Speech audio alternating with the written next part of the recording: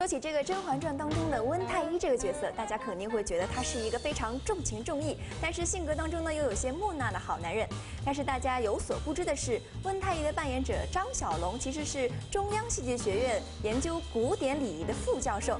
最初呢，他是作为这个专业指导老师被导演招进剧组的。没错，但是在这个指导过程当中啊，导演却渐渐的发现张小龙身上似乎啊有温太医的影子，于是就临时把这个教授拉进了剧组，让张小龙呢一边指导一。一边演戏，从最后的播出效果来看呀，导演的决定还是非常正确的。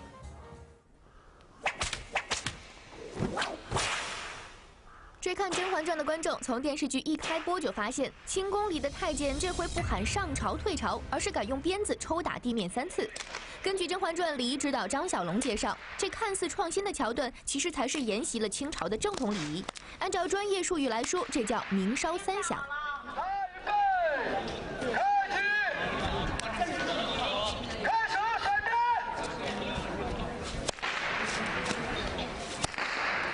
呃，清朝在大大的呃祭祀或者登基呃的活动的之前，都会有这个鸣烧三响，而且不是一个人鸣，是为了这个声音一出来安静了，然后整齐了。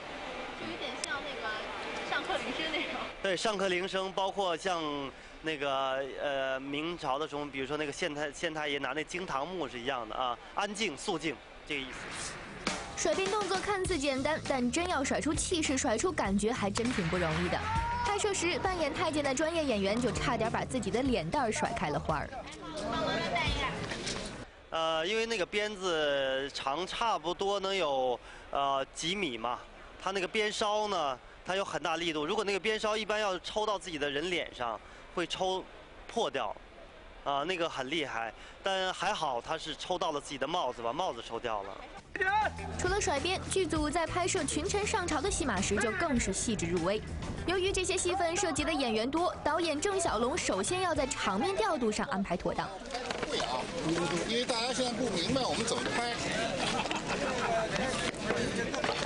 看看这个话外音啊，它上面怎么说的啊？我们第一个镜头是一个大镜头，最好是能从走路的脚开始。就单拍。一个大镜头，这些人从这两侧，听明白了啊？不是中间这条路，从这两侧开始排着队往上走。解决了调度问题，另一个麻烦接踵而来。原来饰演大臣的群众演员不够多，排场不大，又怎能凸显皇上的威严呢？第一个我说啊，排队往上走，这些人往往往上走，把上面那些人都给掉下来，那些文武百官们掉下来。我叫第一个，为什么呢？一队两个人，哎，两个人一队的话，就这么走，还没走到头，这就没了。啊，你把上面全掉下来，啊，还恐怕还不够。而到了实际拍摄中，如何安排几百名群众演员的站位，也成了一大难题。来，后面站整齐了，你们站都站不整齐，怎么走得整齐呢？要整齐不容易，因为在古代的时候呢，呃，站班列位，就上朝的时候站班列位是要一定要横竖都整齐的。如果你那个班位不整、班位不齐，都会受到责罚的。所以呢，那个呃，我们尽量把它拍整齐了。据张小龙表示，在《甄嬛传》拍摄中，满朝文武大臣三跪九叩首的桥段是他们最费心思的，因为群众演员多，小动作也多，而这很容易造成表演动作的不规范。为此，张小龙必须时刻在现场亲身示范。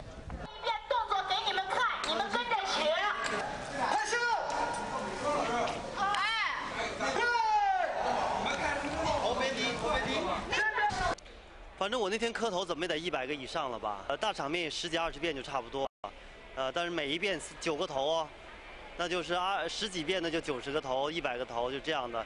但是那个之前练还是练的不少的，因为前面排练排的多一点呃，他就呃在个这个真正的拍摄中就整齐了一点。娱乐新天地刘丽综合报道。